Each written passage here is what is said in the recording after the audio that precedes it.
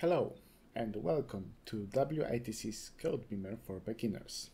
Today I'll guide you through navigating the main panel of CodeBeamer. This interface is designed to enhance your user experience by providing easy access to various functionalities. Let's dive right in. In the top menu bar you will find several global navigation options. My Start takes you back to your main dashboard.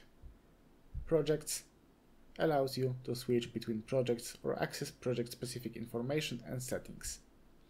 Reports, access to various reports, analytic tools.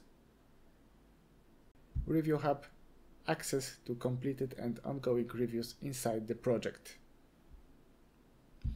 Tags contains all the tags that you can maintain with appropriate privileges. And System Admin for users with administrative privileges this menu provides system settings, user management, and more.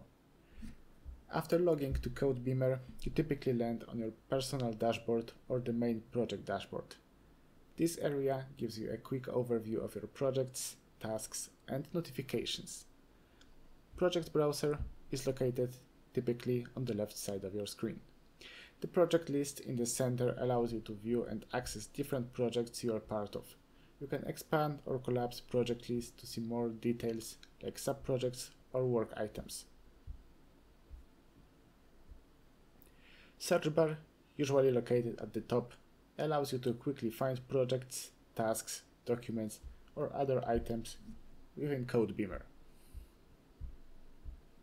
Preferences accessible from the top right corner, where your profile picture or initials are displayed. Here you can adjust your profile settings, change your password, and configure other personal preferences. By familiarizing yourself with these elements, you can efficiently navigate CodeBeamer's interface, making it easier to manage your projects and tasks. If you have any questions, let us know, and we'll see if we can cover them in the following videos. Thank you for your time.